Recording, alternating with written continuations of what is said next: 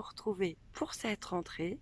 Alors, là, je vous fais que le mois de septembre parce que, voilà, par rapport à mes obligations, etc., je ne peux pas faire deux mois, j'aurai pas le temps. J'espère en tout cas que les vidéos seront plus courtes. Je le referai peut-être, euh, on va dire, par deux mois, hein, euh, octobre, novembre. Après, par la suite, après avoir, hein, peut-être que ça vous conviendra mieux aussi comme ça, vous pouvez me dire, hein, tout simplement. On, va essayer du coup de faire un petit peu moins long, hein mais euh, bon, d'habitude, vous me connaissez, c'est peut-être pas forcément garanti. On verra bien. Hein. je fais cette vidéo d'intro avant de faire toutes les guidances. Oh, bien, je vois, ça fait comme un, arc-en-ciel. Je ne sais pas si vous le verrez aussi, bref. Voilà, bon. J'espère en tout cas que vous ayez été en vacances, que vous y soyez, que vous y serez en tout cas un petit peu plus tard, ça dépend quand vous regarderez cette vidéo.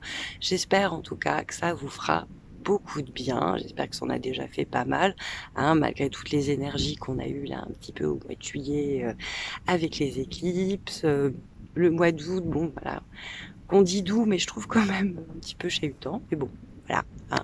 des petits imprévus, des choses bah voilà, qu'il faut changer hein, tout simplement pour pouvoir être prêt pour la rentrée. Donc on va voir ça ensemble avec vous. Euh, oui, je voulais vous dire aussi pour ceux qui m'ont demandé pour les soins entre temps, enfin pour le soin collectif, parce que j'ai quand même bossé malgré tout. voilà, euh, certains sont au courant. Euh, voilà, je ferai des soins collectifs à nouveau, il n'y a pas de souci, je vous en proposerai. Euh, mais là, c'était c'était pas trop trop possible euh, au niveau timing. Pas faut d'y avoir pensé, j'ai été tentée aussi de vous faire pas mal de vidéos, mais comme on m'a demandé gentiment de lâcher prise, voilà, hein, il me ressourçait, j'ai essayé de faire au mieux. Voilà, voilà. Bon, bah, écoutez, je vais pas blablater beaucoup plus. Hein. Vous savez, comme d'habitude, ces guidances restent générales. Vous prenez seulement ce qui vous parle et ce qui vous vibre. Hein. Vous pouvez aller voir vos signes ascendants et lunaires pour avoir des compléments d'information. Pour ceux qui ne connaissent pas ces signes-là, je mets toujours des liens en dessous de la vidéo pour que vous puissiez les trouver. Donc, écoutez, voilà, pareil, si vous avez des questions, normalement, tout est en lien dans le texte. Ah, voilà, si vous voulez me joindre, il n'y a pas de souci. En tout cas, je vous souhaite à tous du fond du cœur une super bonne rentrée. J'espère que voilà, ça va pouvoir bien redémarrer, ça va pouvoir donner un bel élan à tout le monde. Et euh, voilà, je vous embrasse bien fort, prenez bien soin de vous et à tout de suite pour votre guidance. Namasté. Allez les Capricornes, c'est parti pour votre guidance pour ce mois de septembre 2019. Et avant de passer, on va dire, au tirage un petit peu plus traditionnel, j'aimerais bien prendre des messages déjà ici avec l'oracle de la triade que certains peut-être connaissent déjà pour voir si on peut déjà avoir quelques messages pour vous. Alors, on a équité, ordre et saut. Bon, bah, c'est déjà pas mal. Alors, ici avec équité, on parle de guérison, mais également d'équilibre. Et la carte de l'ordre ici, elle fait penser généralement au jugement dans le tarot traditionnel. Vous voyez, on a cette trompette, hein, qui est la trompette généralement de Gabriel, qui vient ici annoncer certaines choses pour remettre, on va dire, les choses en, ordre pour permettre également un renouveau, donc qui est ici euh, protégé par le sceau. Hein, vraiment le côté divin vraiment qui vous accompagne. Peut-être d'ailleurs que ces révélations, entre guillemets, seront euh, divines, en tout cas viendront des plans supérieurs, mais il y a vraiment un équilibre ici à remettre et ça a l'air bien aspecté, bien protégé pour l'instant.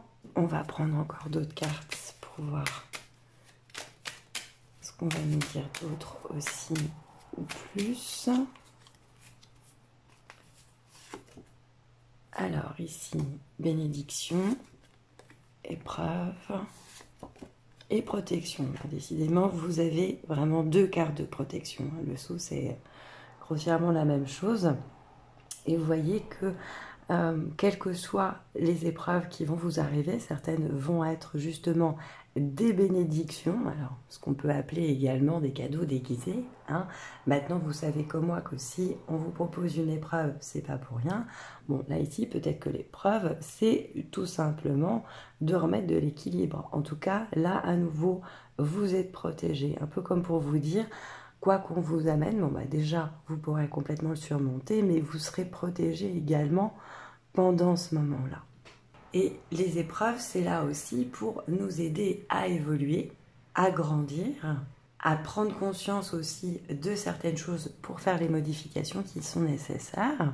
Bon, on est bien d'accord après que des fois, il y a des révélations qui sont plus ou moins agréables à entendre ou à voir véritablement en face, mais enfin là, vous avez quand même plutôt des jolies cartes, hein, vraiment.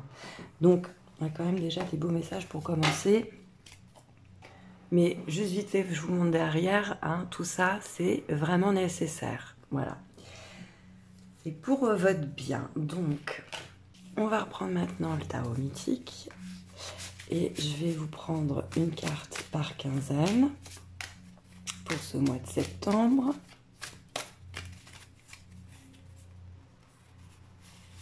Voilà, il y en a deux. Alors, deux pour la première quinzaine. Ok. Et là, pour la dernière, bon, bah, vous en avez déjà une de plus, vous êtes gâtés. Ensuite, je vais rajouter des cartes complémentaires avec l'oracle des maîtres ascensionnés.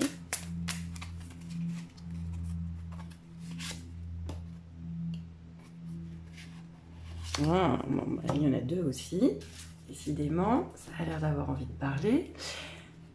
Et puis, on va prendre maintenant les messages de l'esprit que je trouve particulièrement beaux de John Holland.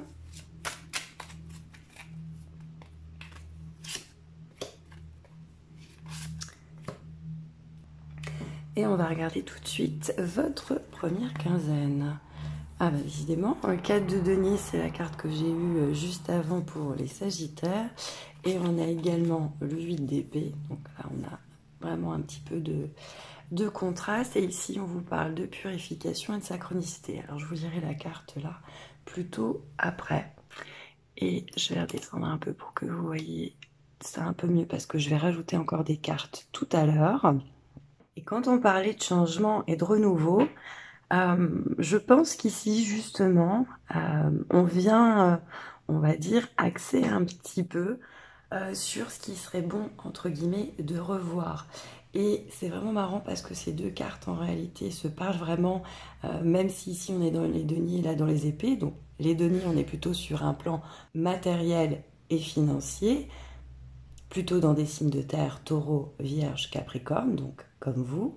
Et ici, dans les épées, on est davantage ici dans le mental, au niveau de l'esprit, et plutôt sur des signes d'air, balance, gémeaux, verso. Mais voyez, ici, il est entouré, encerclé, enfermé, hein, quelque part, par des épées. Et ici, justement, on vient parler de cette notion d'attachement. Vous voyez, lui, comment il tient vraiment ses pièces comme s'il avait peur de les perdre ou qu'on lui les vole. Donc, il y a vraiment des choses à revoir ici. Alors après, bien sûr, ici, on est plutôt dans le masculin sacré. Là, on retrouve un enfant, hein, qui a priori n'a pas l'air d'être le même, mais vous verrez chacun selon vos cas. On serait plutôt a priori dans le masculin sacré. Ça peut être vous, une personne extérieure, tout simplement les énergies du moment. Bon, on va commencer ici d'abord avec le cas de denier. Donc là, on a des dalles donc qui tient bien fort ses pièces comme si voilà et qui est en train de regarder avec une certaine forme de colère, de jalousie également, son neveu qui est en train d'utiliser ses outils et surtout qui a l'air de super bien se débrouiller. Donc là, il y a peut-être euh, des choses à revoir dans vos croyances, dans votre quotidien, peut-être aussi dans votre manière d'être, de faire, de voir certaines choses qui sont à revoir, parce que vous y êtes trop attaché et ça bloque vos énergies. Ça ne vous aide pas si vous préférez justement à avancer. Un peu d'ailleurs de dire si vous continuez comme ça, ça va pas aller dans le sens en réalité que vous voulez. On pourrait même se dire quelque part que voilà, le 8 d'épée et euh, la mise en garde si vous continuez comme ça, ce sera comme ça, par exemple. Donc, parler de colère, mais il peut y avoir également de la jalousie. Donc, c'est vraiment au niveau du chakra du cœur que ça bloque. Hein Sauf qu'au niveau de ce chakra-là, on est bien d'accord qu'on n'est pas que sur ces émotions-là, c'est également le chakra de l'abondance, donc ça peut impacter votre santé, votre abondance sous quelque forme que ce soit dans votre vie, hein, justement peut-être financier ou matériel. Donc il y a peut-être des gens comme ça qui sont un peu trop accrochés à leur statut social, à leur niveau de vie, à des relations, à leur train-train, à leur quotidien, en tout cas euh, à tout ce qui pourrait les sortir quelque part de leur zone de confort. Alors après, je dis ça, je dis ça peut être vous, mais ça peut être aussi d'autres personnes vis-à-vis de vous, hein, toujours pareil, en fonction d'où vous vous retrouvez. En tout cas, là, on vient vous inviter clairement à lâcher prise, à sortir de tout ça et à ne pas hésiter justement à faire les changements nécessaires.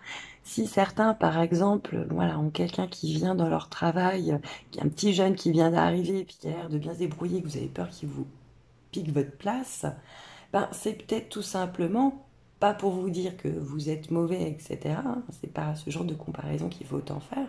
Que ça va, c'est peut-être le moment justement de sortir de votre train-train et de montrer de quoi vous êtes capable, de vous surmonter, enfin de vous surmonter, de vous surpasser, de vous dépasser vous-même, justement pour pouvoir évoluer. Et puis, euh, si certains restaient dans certaines relations, euh, travail, etc., euh, parce qu'ils avaient peur du changement, là, on vous déconseille clairement de rester. Un petit peu comme pour vous dire, prenez votre courage à deux bras si vous n'êtes pas bien là où vous êtes. Je sais bien que les changements, ça peut amener de la peur, mais en même temps, euh, à quoi ça sert de rester dans quelque chose dans lequel vous n'êtes pas bien? Et d'autant plus qu'ici, avec le 8 de paix, on vient parler de peur paralysante. Vous voyez, donc il est enfermé, il a Apollon là qui est derrière lui. On pourrait penser d'ailleurs à sa partie beaucoup plus lumineuse. Et ici, il est face à des chimères, donc à des choses qui n'existent pas et qui peuvent représenter davantage le mental. On voit que derrière, c'est assez chargé, donc euh, un peu comme pour dire qu'il est en train de se prendre la tête tout seul, et en plus il est en train de s'enfermer. Enfin là, Franchement, le soleil, il n'est pas en train de le regarder en disant Waouh, génial, félicitations, tu es en train de bien faire. Il a l'air plutôt dépité. Donc peut-être qu'il y en a certains qui repoussent comme ça depuis un moment certaines décisions qu'ils seront obligés de prendre ou qu'on fera à leur place, hein, j'ai envie de dire tôt ou tard. Donc à vous de voir si vous avez envie qu'on vous y contraigne ou si vous avez envie de le faire de par vous-même. D'autant que certains ont déjà bien conscience de la situation et surtout des, des conséquences des choix que cela pourrait entraîner. Alors c'est ça justement qui peut peut-être aussi les bloquer. Après, je peux comprendre si ça doit euh, engager, on va dire, des personnes d'un point de vue émotionnel, personne n'aime faire de mal, etc. Euh, maintenant, c'est pas en s'imaginant euh, des choses dramatiques et en ne voyant pas les choses telles qu'elles sont, mais comme on a peur qu'elles puissent être, que ça va pouvoir se résoudre tout ça. Donc, il n'y a rien de forcément tragique ici. Peut-être un peu trop d'hésitation, de prostration, tout simplement. Maintenant, on vient vous demander d'accepter la responsabilité de vos choix et de prendre votre part du problème. Quelque part, de faire ce qu'il faut pour sortir de cette impasse, voire de ce dilemme que vous avez peut-être même créé vous-même, histoire d'éviter que les choses prennent une tournure pénible.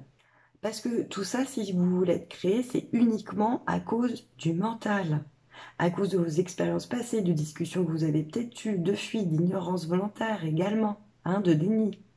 Et ça, entre guillemets, sous prétexte. Alors, je n'émets aucun jugement quand je dis ça, vous inquiétez pas, on est tous les rois des excuses. Euh, mais voilà, personne n'aime laisser personne, c'est ce que je vous disais tout à l'heure. Donc, sous couvert de ça, on se dit, ah bah oui, mais ça peut faire du mal à tel personne, à telle personne, ou peut-être aussi que je vais passer aussi quelque part pour ce que je suis pas, ou que je vais perdre ma situation, euh, ma sécurité, etc. Bon, presque pareil, je vous disais, euh, prenez vos responsabilités, on est également toujours deux à être responsables. Hein. Peut-être qu'ici, il y en a un vous si vous êtes en relation, peut-être que là, il y en a un autre, peut-être que là, c'est juste un enfant comme je vous l'ai émis. Maintenant, c'est pas en serrant les dents ou en fermant les yeux Hein, en faisant l'autruche, que les choses vont s'arranger. Et ici, justement, vous voyez, on insiste sur le fait qu'il y a vraiment de la purification à faire. D'ailleurs, le blanc, c'est la couleur de la purification. Là, Tara, c'est ce qu'elle vient vous annoncer. Donc, il y a vraiment à sortir de son mental, en tout cas à pas se retrouver piégé dedans et à débloquer un petit peu tout ça. Maintenant, il y en a peut-être effectivement qui subissent les énergies de certaines personnes, euh, on va dire un petit peu malgré eux, hein, et qu'un petit peu de purification, ça pourrait également les aider à se libérer davantage. Hein. Euh, je pense également aux mémoires euh, karmiques, etc. Enfin, il y a des bagages des fois qu'on traîne et qui ne nous aident pas, même si on a conscience de certaines choses à faire, etc. Euh, on a comme ça des, choses inconsciemment aussi qui peuvent nous retenir. Maintenant, vous pouvez vous amuser aussi, c'est par rapport à des relations, faire les petits bonhommes allumettes hein, pour couper tous les liens énergétiques négatifs et uniquement. Hein, L'amour reste toujours, je vous le rappelle. Donc, avec cette carte, on vous demande de vous concentrer uniquement sur la façon de servir les autres au mieux de vos capacités, plutôt que ce que vous pourriez en retirer, histoire que tout puisse rentrer dans l'ordre. On vient vous demander également d'examiner vos véritables intentions hein, par rapport à certaines choses, un petit peu comme les excuses hein, que j'émettais tout à l'heure qu'on peut tous se trouver, à voir vraiment ce qui vous motive réellement, on vous invite à avoir aussi davantage de pensées d'amour envers vous-même ainsi qu'envers les autres. On vous conseille, alors vous pouvez le faire aussi d'un point de vue physique, hein, ce qui se fait physiquement agit aussi sur d'autres plans, hein, comme le plan émotionnel, puisque tout est lié. Vous pouvez faire une détox euh, ou tout simplement manger un peu plus sainement, éviter les produits chimiques, les drogues, etc. Hein, parce qu'on peut venir ici peut-être aussi euh, sur la blessure d'abandon qui provoque des dépendances physique, alimentaire, sentimentale. On vous conseille également d'éviter tout comportement susceptible de faire naître chez vous un sentiment de culpabilité ou de honte. Et puis, le détachement, c'est aussi mental, hein, savoir se détacher d'une situation, prendre du recul, c'est beaucoup plus facile que quand on est en plein milieu pour y voir clair. Et pour vous aider là-dedans, vous pouvez tout simplement vous demander, ou dans telle et telle situation, si c'est vraiment en accord avec ce que vous désirez profondément ou pas. Et ça vous donnera entre guillemets la réponse. Alors ici, on a synchronicité. Alors, remarques-tu les signes de synchronicité que le monde de l'esprit t'envoie en ce moment? Les personnes et les situations de ta vie n'apparaissent pas par coïncidence. En réalité, elles sont guidées vers toi par le monde de l'esprit pour t'aider, et ce, pour une raison bien particulière. Donc, hein, quand on parlait justement d'ouvrir un petit peu les yeux, euh, J'aime bien tous ces petits systèmes d'enrouage pour vous dire que bah, peut-être que pour que vous entendiez simplement une phrase ou que vous voyez simplement un mot, une heure etc. Bah il y a tout un rouage au niveau de l'univers en tout cas qui est fait pour arriver jusqu'à vous.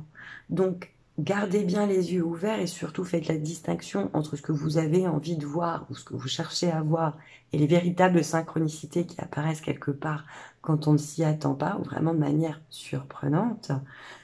Pensez à la règle de 3 hein, pour la confirmation aussi. Donc, euh, je pense que l'univers a dû déjà essayer de vous envoyer, entre guillemets, le message et que ben, peut-être que certains n'ont pas ou voulu le voir ou su le voir tout simplement et que là il est temps d'y prêter un peu plus attention. Si pendant cette quinzaine euh, vous avez vraiment des mots, des sujets de conversation qui reviennent, etc.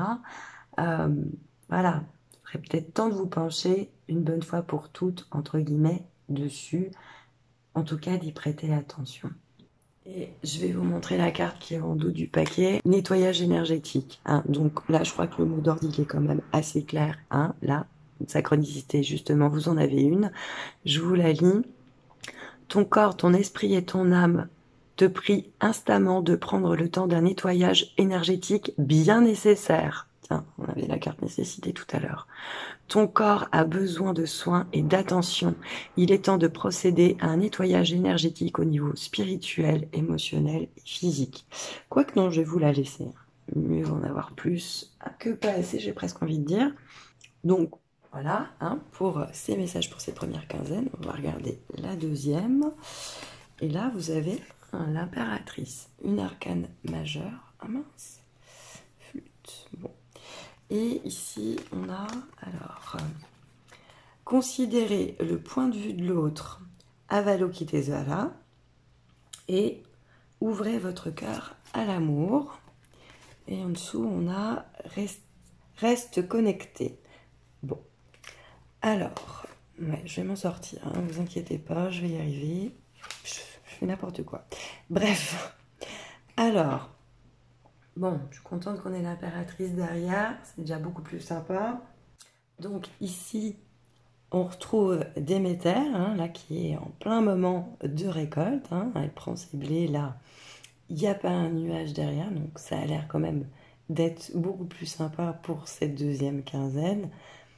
C'est verdoyant, ça a l'air fertile. Hein. de toute façon, Déméter est la déesse qui préside au rite de mariage, à la procréation, au cycle des saisons, mais également aux lois du cosmos.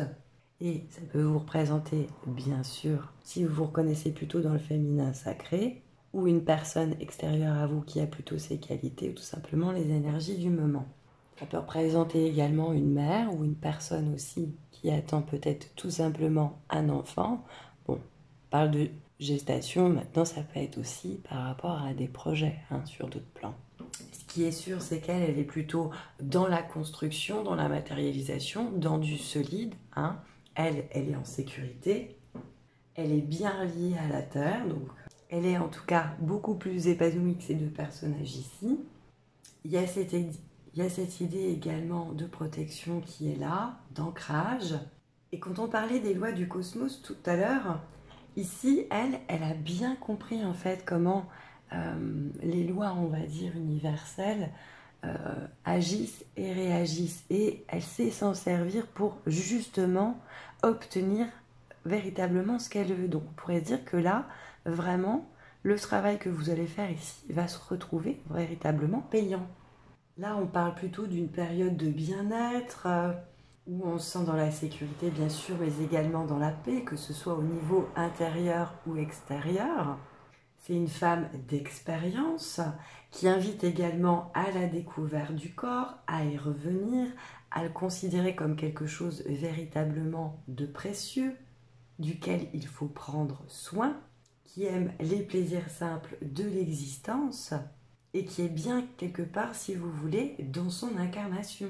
Alors après, l'impératrice, bien sûr, ça peut être quelqu'un qui peut avoir, on va dire, dans ses aspects un peu plus négatifs, euh, du mal de couper le cordon aussi avec ses enfants et qui, peut avoir peur justement de l'insécurité. Mais bon, même si elle a ces craintes-là, euh, moi je le sens vraiment comme le fait que vous allez y arriver. Vous êtes beaucoup plus grand hein, que là-dessus, déjà. Un peu comme si vous vous étiez élevé. Votre situation a l'air beaucoup plus féconde ou en tout cas fertile. Donc, s'il y en a qui avaient des problèmes à ce niveau-là, ça a l'air de se résoudre en tout cas. Hein. Peut-être euh, enfin un travail qui vous sécurise, on va dire, un peu plus matériellement, une union, on peut parler de mariage, de procréation, de naissance, de projets ou d'idées qui sont porteurs d'un certain succès. Hein. Donc, vous voyez, quand on parlait de renouveau, on peut se dire que, bon, bah là, ici, on doit lâcher, on doit détruire un petit peu justement ce qui ne nous met pas dans des énergies très positives pour justement le passer comme ça de l'autre côté et construire sur de nouvelles bases. Donc il y a peut-être euh, voilà, des choses qui se passent encore, on va dire, entre les deux. En tout cas pour moi, c'est plutôt positif. En association justement, alors on va commencer avec le cas de denier. On peut parler à certains d'agréables nouvelles de guérison, de concrétisation de projets matériels, que ce soit professionnels ou commerciaux, grâce à de gros efforts, que ce soit d'intelligence, d'organisation, de persévérance, un peu moins par contre en ce qui concerne le niveau relationnel avec ses proches. Attention d'ailleurs à ne pas vous montrer trop critique ou superficiel, ni avare et intéressé. Alors oui, oublié de vous le dire comme d'habitude, hein, tous les messages ne sont pas pour tout le monde, vous prenez seulement si ça vous parle et ça vous vibre. Et ici, entre le 8 d'épée et l'impératrice, ça donne des choses, on va dire, encore euh, moins sympas que ce que peut déjà évoquer le 8 d'épée. Bon, je vais pas vous les donner parce que je pense que vous avez compris qu'ici, entre guillemets, on veut juste vous faire peur, j'ai envie de dire, avec cette carte. Justement pour que vous preniez compte de ce qui se passe déjà ici, pour pouvoir passer au-dessus et aller vers cette impératrice. Hein. Donc, je ne vais pas vous donner l'association. pour pas en rajouter justement dans ce côté déjà un peu trop mental. Hein, le but, voilà. Je pense que vous avez compris. Bon, maintenant si on revient ici, on vous parle de considérer le point de vue de l'autre et d'ouvrir votre cœur à l'amour. Je pense que cette carte, elle vient vous dire ici justement d'ouvrir un petit peu les bras. Comme on vous demandait ici d'examiner quelque part vos intentions, peut-être de percevoir un peu plus justement également celles des autres. En tout cas, d'essayer de les voir réellement plutôt qu'être juste dans l'imagination d'eux. Hein Donc, il y a peut-être aussi une discussion, on va dire, à avoir, à amener pour essayer de mieux comprendre ce qui se passe. Parce qu'ici, vous voyez, l'impératrice, elle vous invite à la paix. Là, on vient vous dire que peut-être que certains sont encore un peu trop sur la défensive et qu'il serait temps justement, entre guillemets, de baisser un peu les armes. Alors, ça ne veut pas dire de, vous mettre euh, complètement tout nu, euh, sans protection, à la vue de tout le monde, etc. Mais il y a une différence entre ça et être renfermé dans un château fort et se faire des films. Même chose, on vous demande de ne pas vous arrêter entre guillemets à la personnalité des gens, mais de voir, on va dire, leur côté divin. Alors, pas dans le sens non plus où, euh, même si je l'aime pas, c'est forcément quelqu'un de merveilleux. Il y a des gens que vous aimerez pas et qui vous aimeront pas, on va dire foncièrement, avec lesquels vous n'êtes peut-être pas fait pour vous entendre. Maintenant, on est tous liés, on est tous un, donc l'autre, c'est aussi une partie de vous-même. Je pense que c'est davantage ça qu'on essaie de vous dire aussi ici. Mais bon, je pense que le conseil qui est le plus important et qui ressort véritablement avec cette carte, c'est oublier les blessures du passé et repartez à zéro. Hein. c'est vraiment cette proposition de renouveau qu'on vous a amené tout à l'heure avec la triade. Donc n'hésitez pas à faire appel hein, à chaque fois au maître ascensionné en fonction de ce qui vous intéresse. Puis bon, de toute façon, là, ce que je viens de vous dire, quelque part, je risque de me répéter, mais vous voyez, quand on vous dit ouvrez votre cœur à l'amour, c'est vraiment euh, qu'est-ce que l'amour ferait à ma place? Comment l'amour verrait euh, telle ou telle chose ou telle situation? Hein? On vous demande d'être dans l'ouverture, pas dans la fermeture et dans la rétractation. Hein? On essaie vraiment de vous pousser vers l'extérieur. Et avec Jésus, on vient vous dire pour certains que pour manifester une relation amoureuse avec votre âme sœur, avec quelqu'un en tout cas qui vous convient, vous devez vous guérir de la peur que vous inspire le fait de donner ou de recevoir de l'amour. On parlait de purification, je pense aussi qu'il y a un bon rééquilibrage au niveau de ce chakra-là qui ferait pas de mal. On vous rappelle de vous aimer et de travailler également avec les énergies pour ouvrir votre chakra du cœur. Sachant que Jésus, il parle également de pardon. S'il y avait de la colère, il y a peut-être du pardon à émettre. Alors comme d'habitude, affaire à votre âme de préférence, le but étant de pardonner aux autres, mais également à vous-même. D'ailleurs, je suis en train de voir, il y a quand même des beaux animaux totems hein, ici. Vous voyez qu'en même temps qu'il Louis et l'agneau, bon, il y a l'ours, le lion, la confiance. Alors, moi, l'ours, je sais que c'est plus euh, euh, le côté euh, maternel, moi, qui ressort avec celui-là. Le loup, je l'ai aussi. Mais vous voyez, hein, ils peuvent cohabiter ensemble. Et là, pareil, on a quelque part deux extrêmes. Alors, on va regarder maintenant ici, rester connecté. Voyez, là, les mains, comme elles sont, elles sont ouvertes et en plus elles se touchent. Euh, enfin, je veux dire, on dirait deux mains de deux personnes différentes. Alors, nous sommes tous nés connectés au monde de l'esprit, connu aussi sous le nom de source divine, mais nous avons tendance à nous détacher de cette connexion au fur et à mesure que nous traversons la vie dans le monde physique, il est maintenant important de te reconnecter à la source avec un très joli violet de transmutation. Alors, on vous parle ici de vous détacher, alors je pense davantage du plan mental et du plan matériel pour vous reconnecter tout simplement davantage donc à votre cœur, d'où ce travail qu'on vient vous proposer et la purification également, pour être mieux connecté à votre plan divin, à votre âme, à votre moi supérieur, à la meilleure version de vous-même si vous préférez. Parce que c'est elle qui va pouvoir vous aider à vous conseiller quelque part aussi au mieux pour avancer sur votre chemin. Je vais prendre maintenant l'oracle quantique. euh, qui a de très belles ondes de forme, d'images vibratoires auxquelles vous pourrez vous connecter. Vous pourrez mettre pause aussi pour pouvoir intégrer au mieux les énergies des symboles. Alors, qu'est-ce qu'on vous donne pour septembre? Gardien. Bon, bah, on parlait de protection. Voilà, je vous le montre. On va la mettre ici. Alors, c'est marrant parce qu'un gardien, justement, c'est quelqu'un qui surveille, entre guillemets, un passage. Et là, on a quand même l'impression de changer, hein, véritablement, euh, d'état, de situation. On vient vous dire avec cette carte que le gardien, c'est celui qui est présent justement à chaque évolution et qui veille bien à ce que tout soit réuni pour parvenir à l'étape suivante. C'est-à-dire que, quelque part, si un certain travail n'est pas fait bah, tant que les conditions en fait euh, qui doivent l'être ne sont pas entièrement réunies, on n'accède pas entre guillemets à un autre état.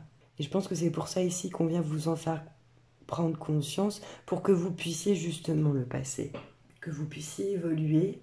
Le gardien, c'est aussi euh, celui quelque part qui garde toujours, on va dire, un trésor, hein, et qui ne le donne qu'à certaines conditions. Il peut même proposer des épreuves, poser des questions. Euh, il est là, si vous voulez, pour vous mettre face aussi, peut-être pour certains, à vos peurs, histoire de vous donner les moyens d'aller au-dessus. Donc là, véritablement, je trouve que ça résume bien ce qui se passe. Après, le gardien, il peut prendre vraiment plusieurs formes. Donc il y a bien quelque chose ici à développer, des choses à découvrir, des peurs à dépasser, et qui vous demande vraiment de regarder les choses en face, parce que vous pouvez aller beaucoup plus loin. Hein, véritablement, il y a vraiment, voilà, j'ai envie de dire, cette abondance qui est là, qui n'attend un petit peu que vous. Maintenant, ouvrez votre cœur, rétablissez les énergies, et ça devrait le faire. Vous êtes le seul maître de votre navire. Alors, je vais prendre également une carte des anges de l'amour hein, pour avoir un peu plus d'informations pour vous sur ce plan-là.